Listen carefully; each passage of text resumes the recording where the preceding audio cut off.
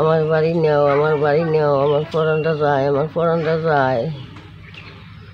ওরে আল্লাহ রে, আমার পরানে উঠবাক আমার পরানে উঠবাক এই কয় আর পাশার খায়।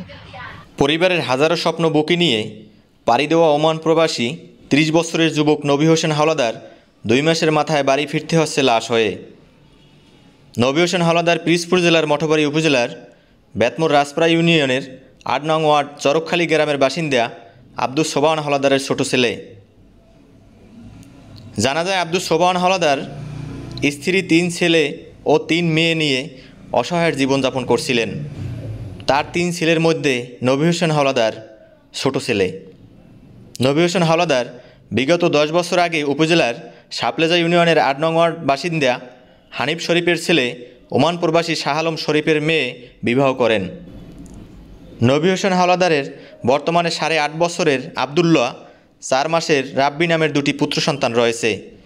নবী হোসেন হাওলাদার ওমানের ড্রাইভিং বিষয়ের কাজে তার শ্বশুর নিয়েছিল গত দুই মাস আগে। কিন্তু গত বৃহস্পতিবার তিনি শারীরিকভাবে অসুস্থ হয়ে পড়েন। পরে তাকে ওমানে একটি হাসপাতালে চিকিৎসা করান। একটু সুস্থ হলে তাহার পরিবারের কাছে বাড়িতে আসার জন্য আকুতি জানান নবী হোসেন হাওলাদার। এদিকে পরিবারের লোকজন তাহার কষ্ট সইতে না পেরে টাকা পয়সা ধার দেনা করে বিমানের টিকিট কাটে কিন্তু ভাগ্যের নির্মম পরিহাস এয়ারপোর্টে যাওয়ার পথে নবী হোসেন হাওলাদার মৃত্যুবরণ করেন। নবী হোসেন হাওলাদারের লাশ বাড়িতে আনার জন্য পরিবারের কাছে কষ্টসাধ্য হয়ে যাবে বলে জানান। আর নয় বরিশাল কুয়াকাটা। ইটের বিকল্প ব্লক এখন মঠবাড়িয়ার বড় মাছুয়ায়। একটি ব্লক পাঁচটি ইটের সমান। যোগাযোগ মেসার্স আল মক্কা এন্টারপ্রাইজ সদর রোড বড় মাছুয়া বাজার মঠবাড়িয়া পিরোজপুর। দুই মাস হয়। দুই মাস হয়ে। তো মারা গেছে কবে? এই ধরেন পরশু দিন। পরশু দিন। কি হয়েছিল? কীভাবে কি একটু কি জানছেন কি আপনারা? জানছি তো ওই দেখছি ছটফট করে মরে দেশে পাড়া মরে দেশে পাড়া মরে উদ্ধার হরেন মরে বাসা নেই এরপর তো মেলা আসে টিকিট কেটে বড় ফলে পাড়াইছে হেরা টিকিট কাটতে না। পোতে মেলা আসে পোতে আবার ইয়ের পরে আবার সময় মাঝখানে বই মারা গেছে। এখন ওই যে জিজ্ঞাসা করে না যে ছটফট করে যখন বলে যে আমার বাসা বাসা। জিজ্ঞাসা করছে। যে কি সমস্যা কি? করে না যে বাবা কি তোর সমস্যা কি? কই যে কই থেকে আমার সব জল্লে পড়িয়ে যাই যায় আমি অসুস্থ হয়ে যাই সইতে না কিছু। ইয়ে কইছে। অন্য কোনো সমস্যা ছিল? না অন্য কোনো সমস্যার কথা কয় না খালি কইছে মরে বাসা। আর ওই ছটফট করতে উল্লি ফুল্লি খাইছে। হ্যাঁ দেখে তো আমি সবসময় ওই বিডিওর দ্বারা যাইতাম না, আমি দেখতে সহ্য করতে পারিনি বাস যে সামনে ছটফট করে, হাইয়ে দেখতে কেন না সহ্য? আমি খুব কম দেখছি, ওরা দেখছে আমি দূরে আমি রাখতে পারিনি কোনো দিন নিজের ধৈর্য হারাই যাই। এখন কইতে আছে দেড় লাখ লাখ ষাট হাজার টাকা দিলে দেশ লাখ যাইবে না যাইবে না। আমার তো দশটা দেওয়ার সমর্থ নাই এখন। এই দারুদ্রের কত একটা বড় পোলা দিয়ে সার্দি মুখি দেওয়া কইতে নবী আপনার ছেলে? হয়। তারপরে ছেলে কজন? তিনজন। নবী কি সবার ছোট? হ্যাঁ। তো কি নবীর আসলে হয়েছিল কি?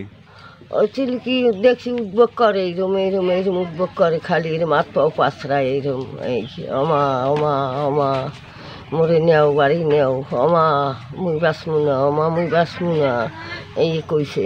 মোবাইলে ভিডিওতে? হয়। আমার বাড়ি নেও আমার বাড়ি নেও আমার পরানটা যায় আমার পরানটা যায়।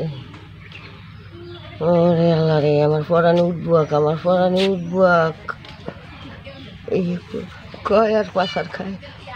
তো এখন এই যে দুইটা বাচ্চা রেখে গেছে হয় কথা কইছে যে বাচ্চা দিদি গেদুর দেখেন গেদু দেখেন গেদু দেখেন নবী হোসেন কি আপনার? আমার ছোট ভাই। ছোট ভাই। তো ওই অমর গেছিল কতদিন আগে? দুই মাস রানিং দুই মাস রানিং এই তার কি হয়েছিল? একটু বলেন তো কীভাবে মারা গেল? সে বৃহস্পতিবার প্রথমে হাতে ব্যথা শুরু হয়েছে তার। সে হলে গাড়ি কাজ করে গাড়ি ধোয়। গাড়ি কাজ করে গাড়ি ধোয় আমার ফোন করে বলছে কি আমার হাতে ব্যথা।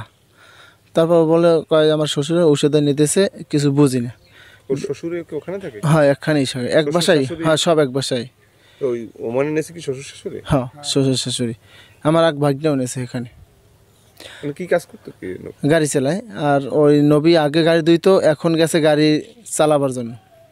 তো এই যে দুই মাসে যে কাজ শুরু করছিল? কাজ শুরু লাইসেন্স করতে দিয়েছে লাইসেন্স বেরিয়েছে এই পঁচিশ তারিখে।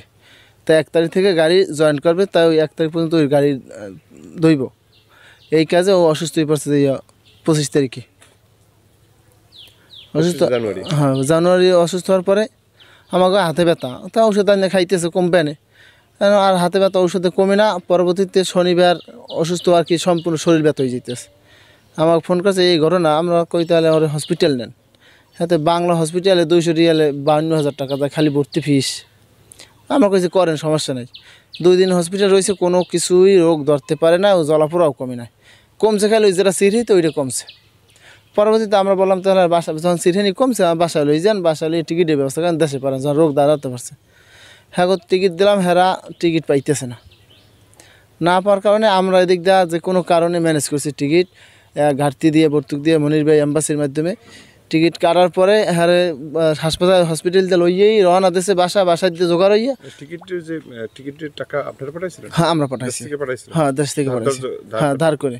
পরে আমার ওই ওই হাসপাতাল যা বাসায় যাওয়ার পরে ও কাপড় চোপড় গুছিয়ে লই রওনা দিয়েছে মাঝখানে পথে সে মারা গেছে। মানে যে বাসা থেকে এয়ারপোর্টে আসার পথে বসে মারা গেছে। পথে বেশি মারা গেছে। মারা গেছে কবে? আর মঙ্গলবার সন্ধ্যা ছয়টায় আমার আমার বাংলাদেশ টাইম আটটায়। আচ্ছা। এখন লাশ আনার কি ব্যাপ- লাশ আনার ব্যবস্থা আমরা করতেছি হেরা দৌড় দৌড় করতেছে। তবে ওখানে এম্বাসি যারা বাংলাদেশ এম্বাসি আছে তারা কিছু টাকা চাইতেছে। এখন টাকা আমরা যা ছিল তা তো পাঠাইছি আর হেরাও যা ওখানে তো আর টাকা কম খরচ হয় না। হেরাও চেষ্টা করছে বহুত এখন টাকার ম্যানেজের কারণে আমরা এখন পর্যন্ত হাতে পৌঁছাই না আমাকে কবে আনতে পারবে ঠিক নেই। না এখন টাকা ম্যানেজ করতে পারলে মনে হয় যে দুই একদিনই পাঠায় কারণ টাকার কারণে আমরা একটু পিছনে আছি। নবী হোসেন আপনার হাজবেন্ড। তো উনি প্রথমে ছিল ওমান গেছিলেন প্রথমে? প্রথম ওমান গেছে। কত বছর ছিল? দুই বছর। দুই বছর। দুই বছর। আর সেই ওমান থেকে পরে? পরে বাড়ি এসে এরপর গেছে সৌদি। সৌদি আরব। হ্যাঁ। সৌদি আরব ছিল কত বছর? দুই বছর। সেখান থেকে আবার আসছে? ওমান গেছে। ওমান গেছে। ওমান গেছে কয় মাস? গেছে দুই মাস। দুই মাস। আর আপনার আব্বা আম্মা দুজনেই ওমান থাকেন? জি। তাদের মাধ্যমেই আপনার হাজবেন্ড গেছেন? হয় তো আব্বা বিষে দিয়েছে। আপনার এই বাচ্চা দুইটি? দুইটি। যাক তারপরে এখন কি হয়েছিল কি ওর আসলে মূলত নবীর কি হয়েছিল? ওই তো ওই ব্যথা এই যে বলছে বই পেটে ব্যথা। ফোন দিয়ে কান্নাকাটি করছে? জি। এই তারপরে? তারপরে ওই ফ্লাইটের টিকিট কাটছে ফ্লাইটে লই মেলা করছে পথে বইয়া মারা গেছে। এরপরে আসার প্রথম মারা জি।